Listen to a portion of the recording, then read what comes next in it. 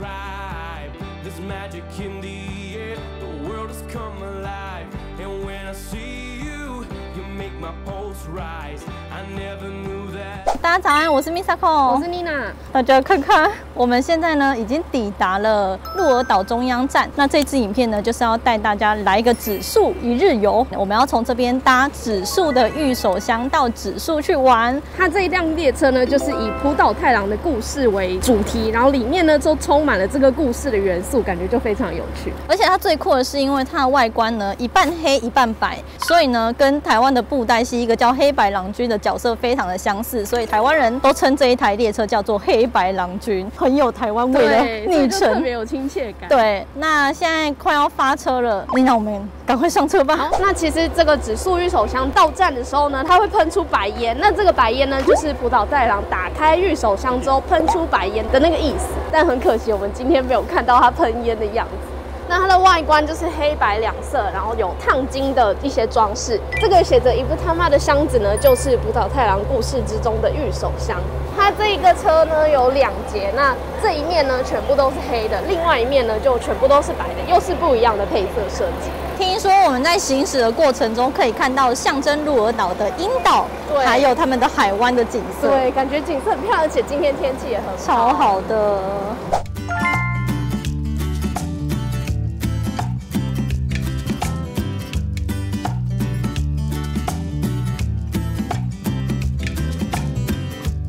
我们现在在的一号车呢，它分成前面的包厢席跟后面的这种两人座椅跟面海的柜台座位。那么这个座位呢，沙发的颜色也不同。右边的看山的座位呢，它的座椅的颜色就是绿色的；柜台这边的看海座位，它的颜色就是蓝色的。那这一辆列车除了这个座位之外呢，它有一个很特别的小区，是用木材做成的，有点像是小小图书馆的区域。那这边有一个小沙发，旁边都摆满了跟鹿儿岛啊，或者是这一辆列车有关的故事。大家有兴趣的话，可以去翻翻看。Slowly watch as the sun rises, or fall asleep instead. This is how it ought to be. Every day should be like a hovering cloud.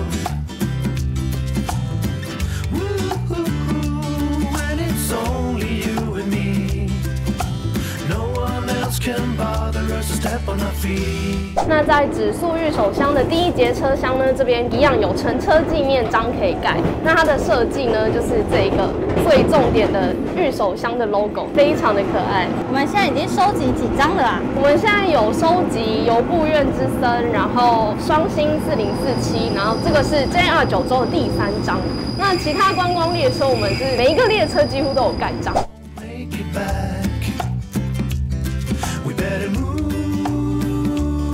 一上车大概十分钟就会迎接到做指数御手箱的第一个大看点，就是可以看到樱岛。我们刚才经过的时候呢，樱岛还正在爆发，有爆发出白色跟灰色的烟，很壮观。但是呢，这边要提醒大家，看到樱岛的时间其实蛮短暂的，大概不到一分钟，所以建议大家如果要拍樱岛的照片的话，手机就是快门一直按一直按，这样才会拍到哦。那广播也都会提醒大家，快要可以看到樱岛了，所以大家大概上车前十分钟要仔细听一下哦。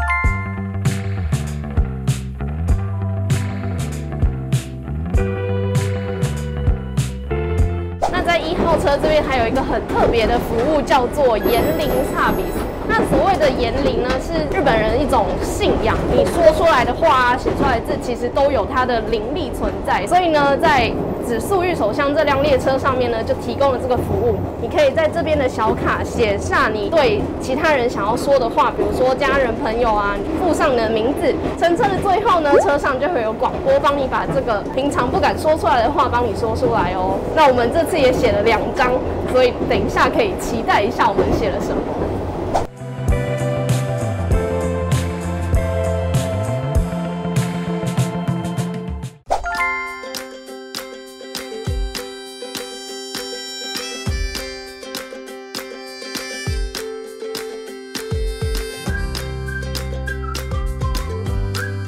现在进来了第二节车厢，在第二节车厢的后方这边呢，有一区是专门给小朋友坐的座位。我现在其实就是坐在小朋友的座位上，这边有三个小小的座位，那这边呢还有放小婴儿的地方，所以这一辆列车也是非常的亲子友善。它的这个故事主题，因为是葡萄太郎嘛，所以也充满了童话的氛围。我觉得这一辆列车很适合带小朋友来搭。那二号车这边的位置呢，跟一号车一样，分成这边的柜台座位跟这种一般的座位。那柜台座位呢，重点呢就是可以看到这一面锦江湾的景色，而且在后方呢，还有我们刚才跟大家介绍过的小朋友专用的位置。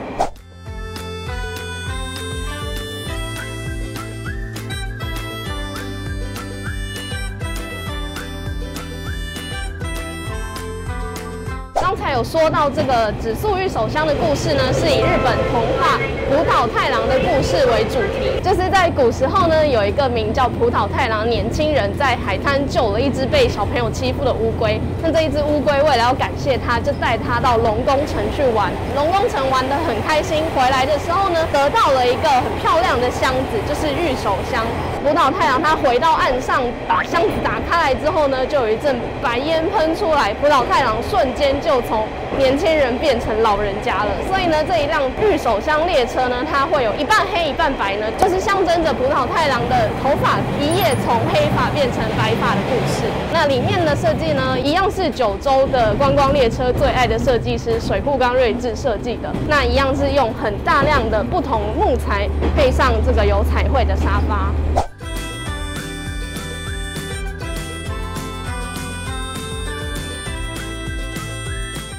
搭乘指宿玉手箱从鹿儿岛中央搭到指宿站的单趟票价是两千三百日元，所以还蛮平价的。那如果你是有买 JR Pass 的话呢，不管你是买全九州或者是南九州或者是全国版的 JR Pass，都可以免费划位搭乘。所以如果你有买 JR Pass 来旅行的话呢，就很推荐可以顺便搭这一辆列车哦。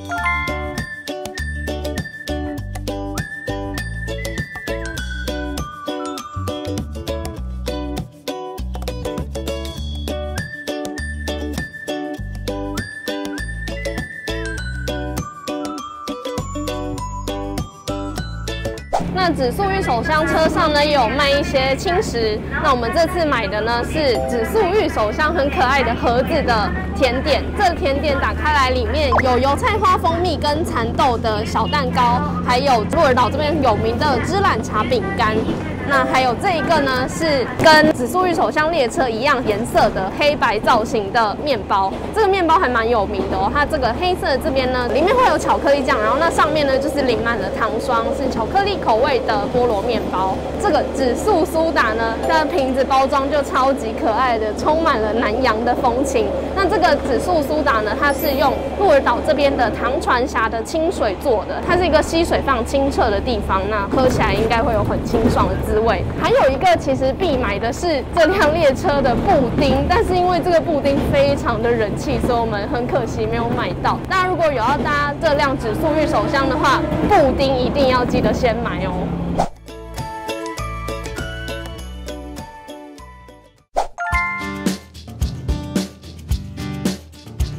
的玉手箱发车的时候呢，在指数车站这边会有一群国中生欢送指数玉手箱出发。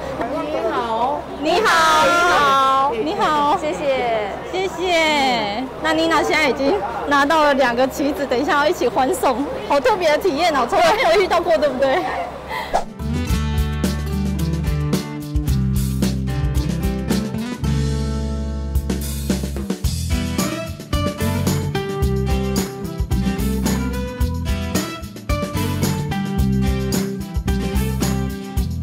我现在跟妮娜已经抵达了指数站喽，一小时的时间真的是不够哎，过得很快，超快的。这一辆列车我最喜欢就是它的海景，它的沿路呢，其实很多时间大家都是可以看到锦江湾的景色。对重点是还可以看到象征鹿儿岛的樱岛。对，而且我们今天看到的时候，它还在喷烟。最让我印象深刻的是，我们写的小卡 Koto Damasabi 园林卡。旅程快要结束的时候呢，车上就真的有广播，而且就是还很热情的念出来，请大家订阅我们的频道这样子的小讯息，然后我就觉得很可爱，很暖心。那我们的指数之旅还没结束，接下来我们还要带大家去指数当地吃他们的美食，还有造访他们必去的景点。那我们就赶快出发吧！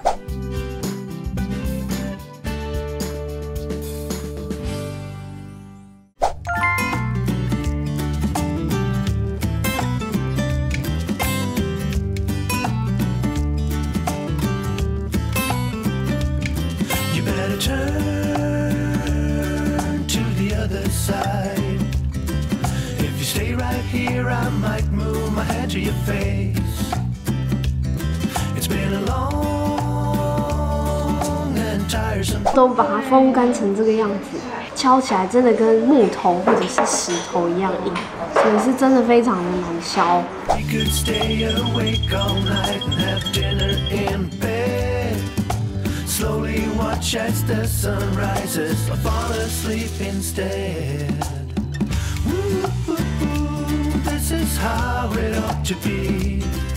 那来到指宿这边的第一间必吃美食就是这一间二代目拉面。他们二代目拉面最有名的就是这个超盛武士拉面。其实指宿这边的山川港呢，它是全日本生产柴鱼片品质最好，而且产量也最多的地方，所以这边的拉面呢就用这种柴鱼片入菜。那这个超盛武士拉面很特别的地方是，它要让客人呢自己去磨柴鱼片，所以我们刚才有真的试着磨了一下，它真的非常非常的硬，最好要站着，然后用很大力气这样磨，才能磨出这样一碗的柴鱼片。那这个柴鱼片呢，再倒到汤里面跟拉面一起享用。你动太快了吧！他会跳舞吗？有有有有有一点有一点倒下来啊，这个柴鱼片的香气整个就散发出来。那汤头我觉得有蛮浓郁的蔬菜的甜味，喝起来甜甜的，然后再配上这个煎柴鱼片，就更有那种甘甜的味道。我觉得汤头也蛮清淡的。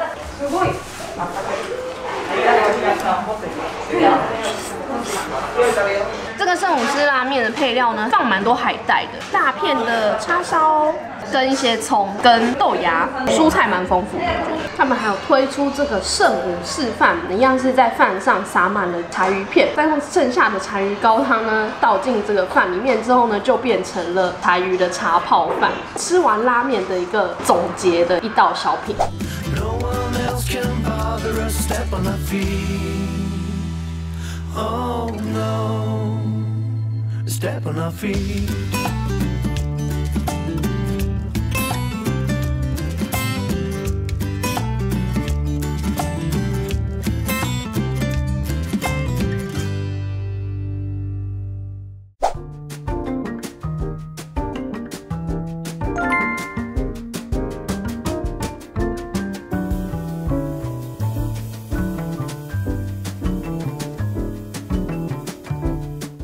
大家知道吗？这个池田湖这边呢，其实是有水怪传说的哦。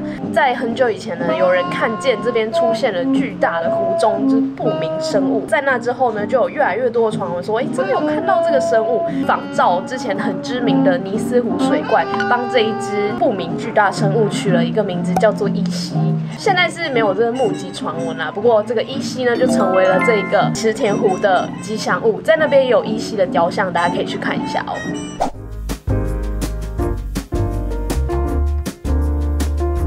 那指宿这边呢，还有一个九州最大的活口湖，我背后的池田湖，在这边呢就可以看到有萨摩富士之称的开文月的倒影，就在这个湖这边。其实一年四季也都有很多植物盛开，所以是一个很适合来放松休息的景点。在二零二二年有一个新开的咖啡厅，叫做 Dunkin Cafe。那这里的咖啡厅它就是正对这个湖面。那我们现在所在的位置其实就是这个咖啡厅的露台，边喝咖啡边欣赏湖景。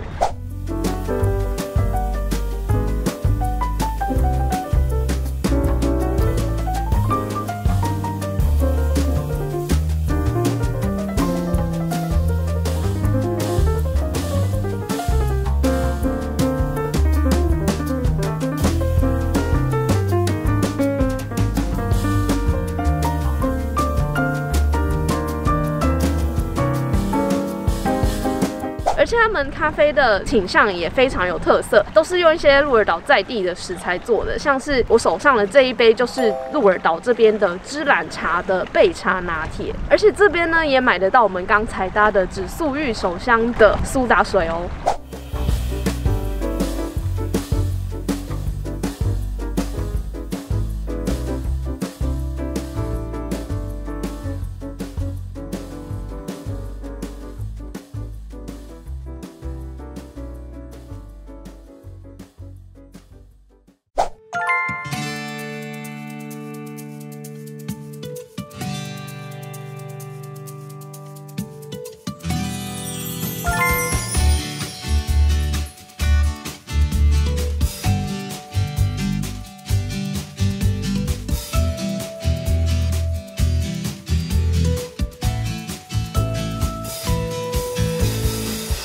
我们现在来到了萨摩半岛最南端的长崎鼻，那这边呢其实是很知名的海龟的产卵地方，同时也是浦岛太郎传说的发源地哦。那我背后的这一个龙宫神社呢，它是供奉乙姬，那这个乙姬就是浦岛太郎传说中跟浦岛太郎相遇的一个女神。那这边呢，除了这个神社以外呢，还可以看到萨摩富士的开 轮月，非常的清楚。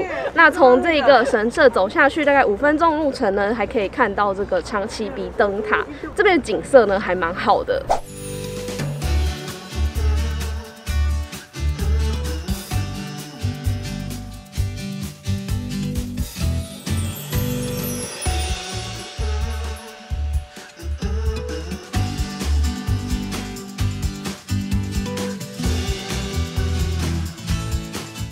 这个龙宫神社有个最特别的地方呢，就是一般神社许愿都是写在木头的绘马上面，但这边呢是写在贝壳上面，很有南洋风情哎。它这边呢就是有非常多的贝壳，那你只要付一百元就可以在贝壳上写下你的心愿，写下来之后呢，再把它放到这些瓮里面就可以了。我眼前看到的这一大叠，然后还有这边、这边，还有神社的背后，其实全部都是大家写在贝壳上的心愿。现在还因为太人气，贝壳裤子没了没有。贝壳了。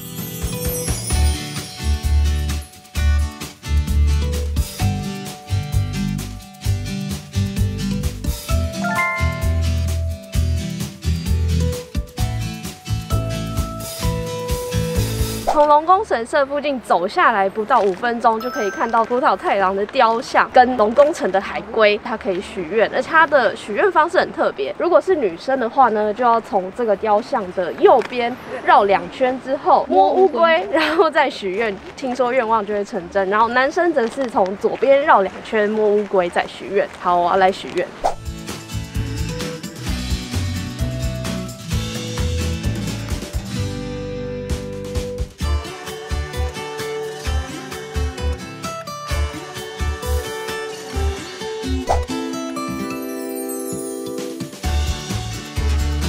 那龙宫神社这边还有一个小站台，可以让你很清楚的跟背后的开文月一起合照。哎，这个视野真的不错哎。对啊，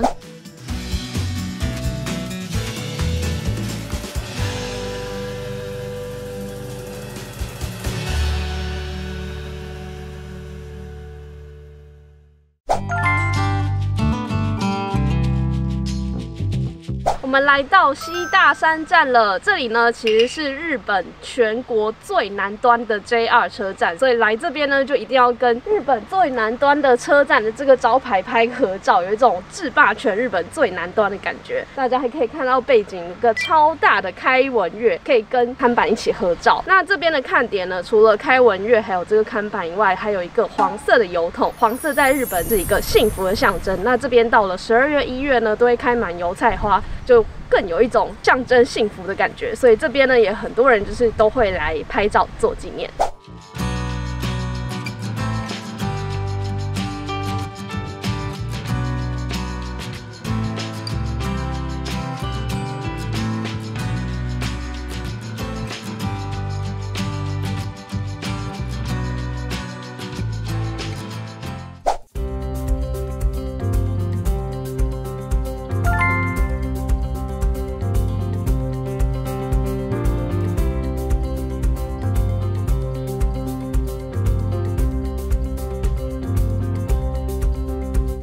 到了沙乐会馆，这里呢就是可以体验沙浴。如果你是宝可梦粉丝的话，一定要来指数，因为指数跟喜欢伊布的日文发音是一样的。喜欢的日文叫 ski 嘛，然后伊布的日文又叫伊布，这合起来真的就是就叫做伊布 ski。所以呢，在指数室就是总共有九款的伊布的人孔盖可以收集。那沙域这边呢，其实就有一个火鸡脸的人孔盖，超可爱的。那大家如果来指数室的话，也别忘了注意一下脚边的风景。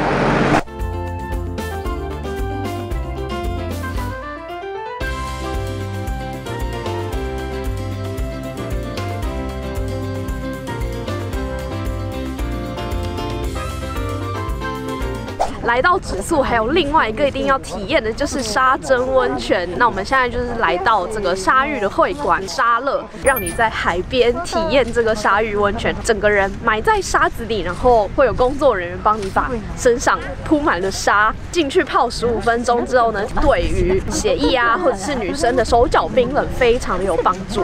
那我们现在就是要在排队等，现在超级冷的，所以希望可以赶快进去泡温泉，让身体暖起来。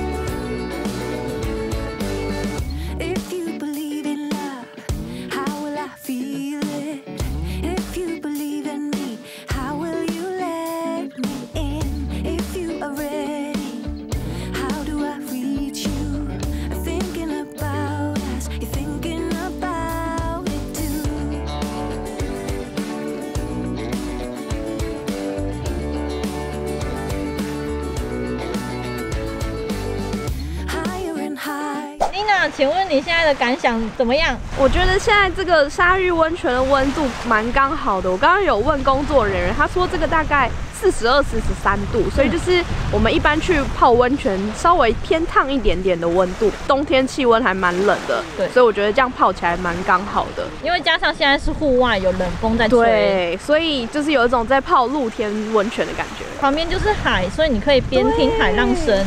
蛮疗愈的。对，有在做 SPA 的感觉。这个沙子埋在身上重量会蛮重的，可是你就可以感受到你的身体的脉动、心脏啊动脉一直在跳。听说这个呢，就是因为沙子的重量压在身上，反而会对血液循环还蛮好的。哦对，会耶促进血液循环有。循环的感觉。对，那这边就是先泡沙浴，然后把身体的沙子冲掉，嗯再去里面泡温泉。你已经来过两次了，我想要问你，为什么这边的沙浴温泉沙子是热的？这个沙子的地下，它就是温泉，把沙子也弄热了。那一般的温泉其实都是在地表很下面的地方，所以要一直挖一直挖才可以挖到涌出来的温泉。指宿这边的温泉呢，它离地表还蛮近的，才会连这边的沙子都是热的。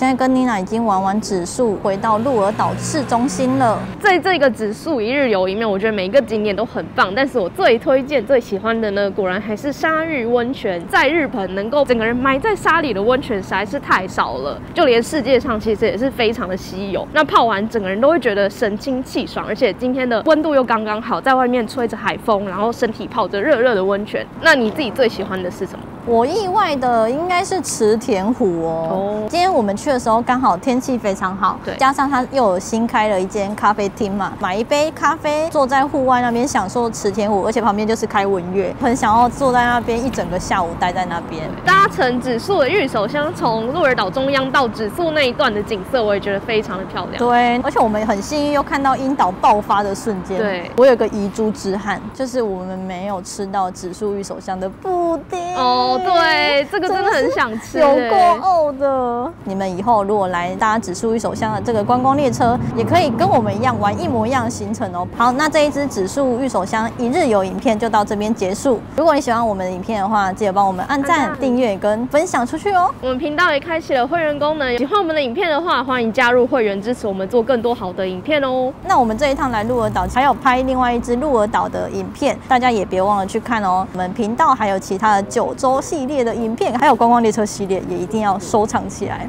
那我们下次见，拜拜。